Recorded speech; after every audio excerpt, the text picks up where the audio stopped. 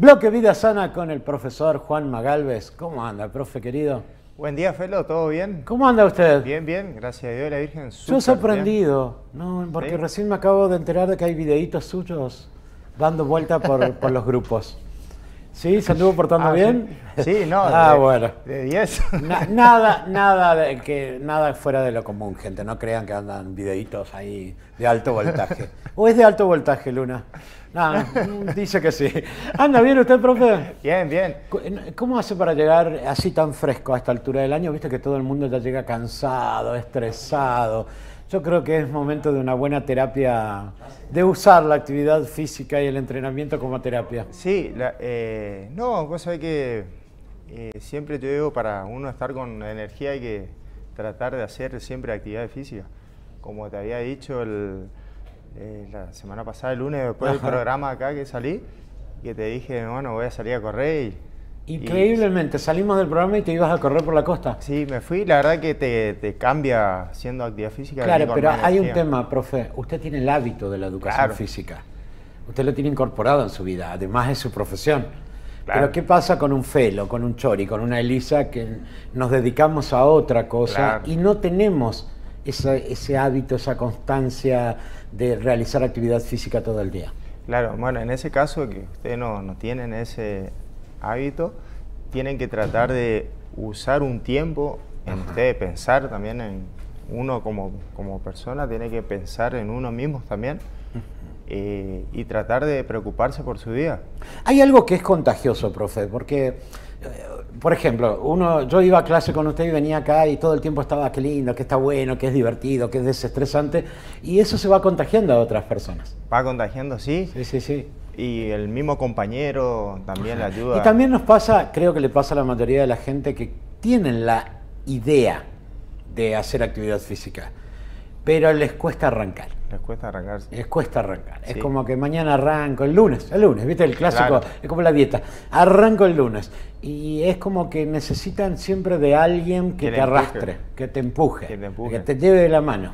Sí, nos pasa todo. A mí también nos pasa, bueno, el lunes arranco, el lunes arranco y, y hay veces que dicen, bueno, hoy arranco y hoy arranco y... Estamos hablando, ojo, estamos hablando de un entrenamiento y una actividad física tranqui, ¿no? Tranqui. Porque hay gente, viste, que quiere tener más brazo, más cola, más cuerpo, más todo. E- Ese es otro cantar. Sí, Pero el primer paso es comenzar con esto, con la actividad física, con el entrenamiento. Claro, arrancar de, de- de menor a mayor, tranquilo primero, hasta que se vaya, nos vayamos ambientando a Y- lo que es la actividad física. ¿Y por qué decimos que es terapéutico, profe? Porque eh, hay veces que todos, nos pasa a todos, tenemos por ahí algunos problemas o familiares, problemas de, de laburo, eh, estresante, más a esta altura del, de año que, que ya estamos en diciembre, estamos cansados, estamos en la, rutina misma por ahí también ya es, te cansa, eh, como que ya llega aburrido, está arrastrando el pie, ya está esper- esperando las vacaciones. Esta es la altura del año donde nos empiezan a doler todos los músculos, Todo. eh, eh, la cabeza, el cuello, los hombros, el estrés, ¿no? El estrés, es, eh, el estrés es algo que yo no creía hasta que me ocurrió. Y le pasa a mucha gente. Claro, y No ahí- nos damos cuenta, pero estamos estresados. Sí, ahí yo me pasó, me pasó también ahí en las plazas que, que venían alumnos con, con estrés, eh, se le caía el cabello. Eh, mirá, Mirá, Chori, cómo quedó. Eh, el estrés, el estrés es algo tan terrible y uno no se da cuenta y a veces lo, lo podés sacar de encima con una simple eh, actividad física. Con una, mm, Con una horita sí, semanal se te va. Se te va. Ahora te pregunto, porque le- estamos hablando de un estrés laboral, que es el que le ocurre a la mayoría, A la mayoría. pero el ama de casa se estresa. Se estresa. Los chicos se estresan también con- eh, yendo a la escuela. Eh, me parece que cualquier cosa cotidiana hoy en día estresa. La situación económica También. también estresa mucho. Sí. Sí, es lo que, eh, porque psicológicamente todos estamos pensando, eh, subió la cosa, subió la nafta, subió esto, subió lo otro, estamos pensando en la economía y no estamos pensando en, otro, en nuestra salud, en nuestro cuerpo, no pensamos en nuestro cuerpo, estamos pensando siempre, ah, subió, cómo llego para pagar el fin de año. que- Y entonces eh, yo le digo a los alumnos, desenchufate de eso, eso después solo se viene. y agarrá y preocupate por vos, porque si no, no nos enfermamos, nos quedamos después, le digo yo, si no, nos quedamos todos doblados después ahí. Pero es por el estrés, pues estamos pensando, estamos nerviosos, estamos pensando cómo, cómo vamos a llegar a fin de año con todo lo que, está pasando. Entonces, yo, sabes que yo decía hoy en el comienzo del programa que llega a esta altura del año y en el tránsito, en el mismo tránsito en la calle uno nota eh, que la gente está como acelerada. Aceleradísima. Eh, no solo acelerada, están con poca paciencia, con cero tolerancia a cualquier cosa. Eh, pasa siempre. Yo, yo me pararía en la calle y diría, vayan a hacer gimnasia, ¿viste? Sería... Recién venía en bici acá y una camioneta agarré, tipo apurate. Claro, tipo, claro, quería que pedalees más rápido. Y agarré, me bajé de la bici, le hago así, levanté la bici y le hago... Ah, tomá, anda en, la bici. ¿eh? Ahora, hay que animarse a decirle algo en la calle a Juanma, porque es grandote, ¿eh? Es grandote. Y entonces, ¿Se da cuenta que usted no mete miedo a nadie? No, pero eh, eh, eso es lo que le hace falta. Le hace falta hacer actividad física, por eso que está en el... Ah, vos le mandaste a que... Agarré la bici y le dice, toma, anda en bici, que eso te va a descargar. Bueno, estaría bueno desestresarnos un poco. Está bueno el tema, me gusta que, es terapéutico. Eh, tenés, eh, aquí el otro día vino, vino gente que se dedica a la música, ¿sí? Y que lo han hecho como terapia. Claro. La gimnasia también es terapia. Sí, igual que la, la música, viste que por ahí la música también te te relaja o hacer actividad. Depende de la música. Claro. ¿viste? A mí o hacer yo escucho música para relajarme. Pero no, no, voy a poner elegante porque me genera otra cosa. ¿viste? O hacer me deja más neurótico de lo que estoy. Pero eh, sí, es terapéutica. o hacer actividad física, con, con, música también. Depende, como decía. Ahora hablamos de, de todos nosotros y ahora hablemos de usted. ¿Cómo hacen los que se dedican a la actividad física para desestresarse? Porque a ustedes también les genera un estrés. La y bueno, es lo que yo te estaba diciendo cuando recién arrancamos, de que yo también trato de, preocuparme por, por, mí mismo, porque a los alumnos me dicen, che, vos, le, vos nos mandás, nos mandás y, y, vos, no, no haces nada. Y es verdad. Y entonces uno, uno como profe también se tiene que darse un tiempo y entrenarse también para, para uno, para poder estar bien, para ser el ejemplo de los alumnos y otro por nuestra vida cotidiana para sentirnos bien también, porque si no, si yo no hago actividad física, estoy de mal humor, eh, le digo a los alumnos, ah, así, hacer así, y como porque ya estoy cansado, estoy estresado, y para que no llegue a pasar eso, yo tengo que hacer una actividad física para estar con A ver, estamos viendo imágenes, contame, profe, un poco, porque veo mucha pesa, mucho juego con la pelota, este, y hay gente que dice, yo no voy a ir a levantar una pesa pero justo tocaron las imágenes con pesa, pero eh, ¿cuáles son las, el primer paso para empezar a desestresarnos a través de la, de la actividad física? Claro, son los, los, primeros pasos es arrancar sin pesa, obviamente. Una persona que recién arranca tiene que trabajar con el peso de su cuerpo nomás, eh, en principio, hasta que vaya eh, ambientándose su cuerpo, agarrando fuerza, agarrando confianza a unos mismos también y después recién le vamos agregando los pesos de a poquito. Eh, los entrenamientos obviamente siempre hay que darle variante a los alumnos para que no sea un entrenamiento aburrido, eh, tratar de trabajar un día con fuerza, un día cardio, otro día aeróbico, otro día volver a trabajar con fuerza, tonificamos el cuerpo. Entonces, eh, todo depende del objetivo que quiera cada uno, depende del cuerpo de cada uno, depende del problema de cada uno, depende de la obesidad de cada uno depende el, estado de ánimo de cada uno. Todo tiene que depender de... Y, ahora te pregunto, profe, alguien que, está ocupado todo el día, que, hace un millón de cosas y llega, la, dice, tengo que comenzar con una actividad física, que lo hace la mayoría de la gente ¿eh? a la tarde-noche. Este, y uno dice, no, hoy estoy cansado. Claro. Bueno, uno que... Estoy cansado para ir a verlo a Juanma que me haga hacer 500.000 flexiones. Claro, ahí está el, la psicología de cada uno, tiene que... Es un error ese de decir estoy cansado, sí. no voy a ir a gimnasia porque estoy cansado. Tiene que hacer el esfuerzo de decir, bueno, me voy un, ratito, y una vez que voy a llegar en ese lugar, se te pasó y el cansancio también se te fue se te fue el cansancio por la misma actividad. ¿Se va el cansancio? Claro, no se va en ese momento, pero después de la actividad. Claro, a las 72 horas voy a decir, che, ayer, antes de Ojo que lo que yo te planteo es algo que le pasa a todos. A todos. A mí mismo, eh, no. Todos, viste, que eh, dicen, no, no, hoy tuve un día complicado, estoy cansado, voy a dejar el gimnasio para otro día. Claro, a mí, por ejemplo, por ahí, no, no, no invita los, los- en el caso de los, con el- los profes, por ahí se lo hacer fútbol y digo, no, hoy no voy Mira, esa cansado". linda actividad que estamos viendo, vos haces juegos también con los chicos. Claro, eso es por ahí solo tirar los días viernes, esos- esas clases de juego, Ajá. que como viernes, lo que estábamos hablando, ya estamos cansados, ya estamos esperando el viernes, el fin de semana para descansar. Y entonces, entonces trato de tirar esos tipos de juegos para juegos recreativos. Yo estoy con ganas de hacer un debate, profesor versus alumno, porque hay detrás de cámara dos alumnos suyos que están diciendo todo lo contrario a lo que usted dice, profe.